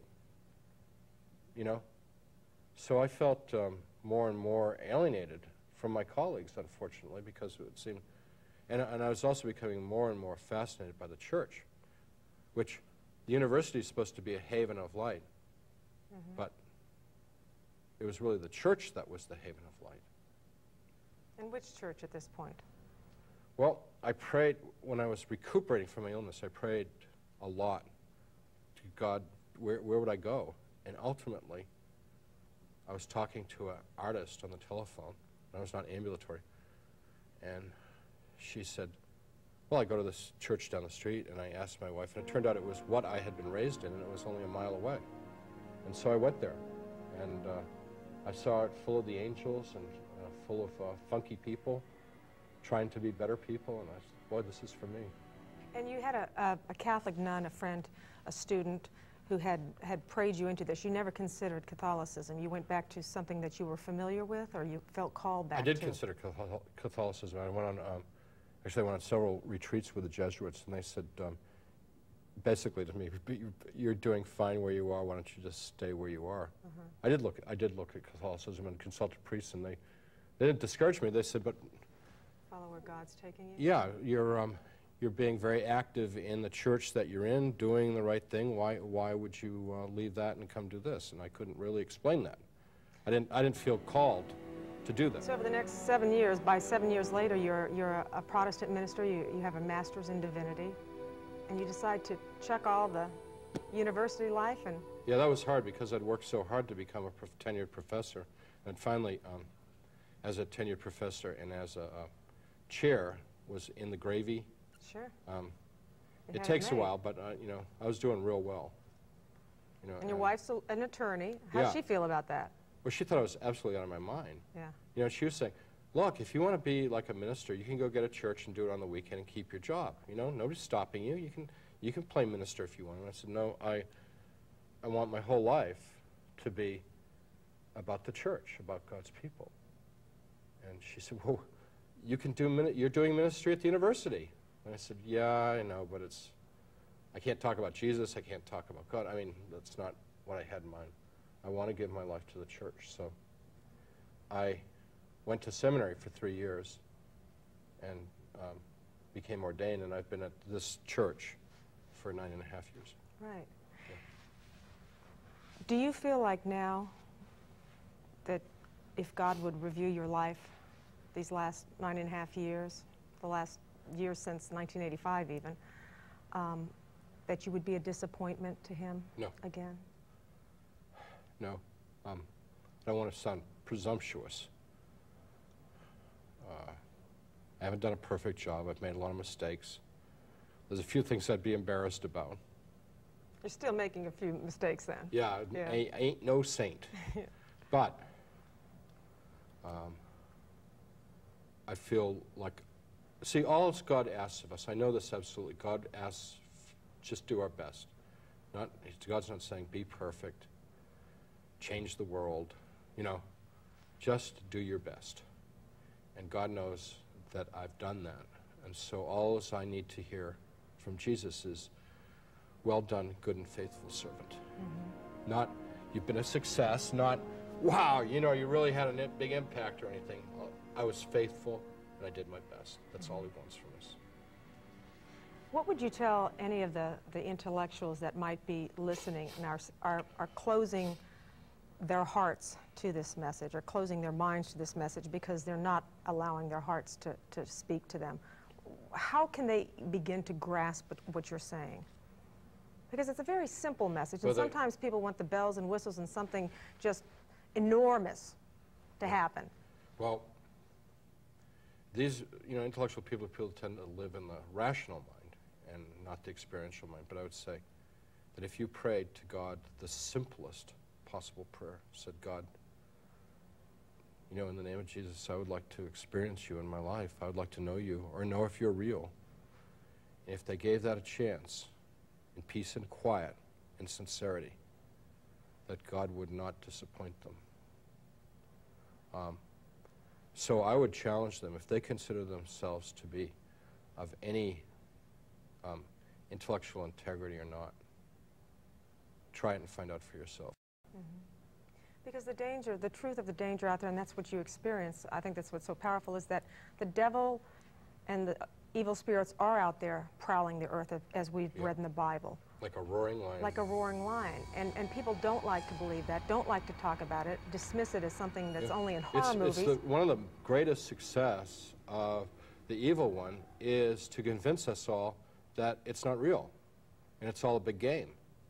And unfortunately, it's too real, and it's something that needs to be taken seriously. I don't like to. Um, I like to fill myself up with the light of Christ, and that takes care of my problem with evil. Mm-hmm. But you bump into it every once in a while, you know, and you got and you got to face the reality of it. Even after you've accepted Christ. Yeah. But for those who haven't accepted him yet, they have to be aware that if they haven't accepted him, then they're being led by another force. Absolutely, they don't even know how much he has power over them. You know, It doesn't matter what you've done. God is always willing to take you back. Is that not true? You're like the prodigal son. right? It's the, the the incredible thing is is people well, I'm too bad. I've done too many wicked things or stuff like that. Absolutely not. Absolutely not. I have a man that I'm working with who's on death row in Ohio, mm-hmm. and he did a really bad thing. You don't want to know about it. It's really, it was the worst thing you can imagine. He did it. Heinous crime, yes.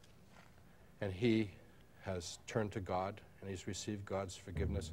And he lives in this horrible, constricted little life, death row, trying to be a witness to the other. Um, there's 200 men on death row there, to the other men up there. And he has purpose and meaning in his life, although his life is really, really hard. And he'll never get out of there. And he admits his crime and he doesn't want to get out. He doesn't seek a pardon or anything. He just he, he feels his punishment is justified. But the only way he'll ever get out of there is to die or be executed. But his name's Martin. Martin is right with God and he knows it. Anybody can be right with God. Was it your personal witness to, to Martin that helped him? Because we always are told that the, our It personal had a little, it was a, a little people. We all have our own little role to play. Um, You know, some of us, the Bible says, some of us till, some of us weed, some of us cultivate, some of us nurture. And we don't really need to claim the harvest. You know, just play our part. You know, do you, you know what I mean? In terms of the conversion of the Sure. And it begins with how you treat the person at the cash register. You treat them like a thing because they feel like a thing. You know, if you've ever done um, service work with people, you know, what I mean? everybody treats you like you're just, you know, furniture. You bring a little joy and brightness into their life. But it's not always easy, and sometimes maybe your family members won't accept your message readily. No, uh, yeah. Um, the odds are really good that they're going to be the first uh, problem you're going to face, and I have too. And w- what we need to do with our family, uh, I learned this the hard way. The difficult way is you got to pray and pray and pray for them and turn them over to God because you're the least effective person in terms of converting them. Um, you need to pray for them and love them, but don't try and convert your family. Let God convert your family. Um, be the right example. Always be willing. Always, you know. But I mean, I told, told my kids, you know, if you don't go to church, you're not going to get any money, and you know, that doesn't work. Threats, threats, and fear don't make it. Only builds resentment. So ultimately, you would tell people out there that God has a very special plan for each and every one of them. But in order to understand their plan, they need to pray for guidance from Him. to pray it and to explore it. The way that we find what God wants us to do is with trial and error. Um, God has given me certain um, gifts and abilities and lots of limitations, lots of places where I'm not gifted and stuff. So I have to learn through trial and error where I should put my energy, put my compassion, put my concern you know, and, and, other, and other things don't get involved with it because I'm not good at it or it's not fruitful for me. You know what I mean? So we explore, but the, the main thing is this is the school of learning how to love, and it's all experiential learning. But it's a It's not theoretical, it's experiential. But it's a universal message for all people. I know when we were speaking on the phone about Yeah. the Jesus Christ issue, and you said something to me. You said you didn't feel like you needed to ask about that specifically because you understood that if people love God, they love Jesus, and they might not even know they love Jesus Yeah. because God is Jesus. Yeah, there's no. Um, there are three revelations of God God, the Creator, Father, Christ, the Son, who lived as a person called Jesus of Nazareth for, you know, 30 odd years, and the Holy Spirit, but it's um, three persona of the same being. Um, and there's, in essence, no difference between any of them. If you had to leave people with one thought, one message, something that, that they could hold on to, you've said so much already, obviously, but just something that, that you want that, to leave them with. that It's, it's very easy, f- um, that God loves you way more than you can possibly imagine. That's what I want people to know. How much, I, I, I can only say it, I can't, they have to find out for themselves, but they're very, very important to God, and God's love for them is just much greater than anything they could ever imagine.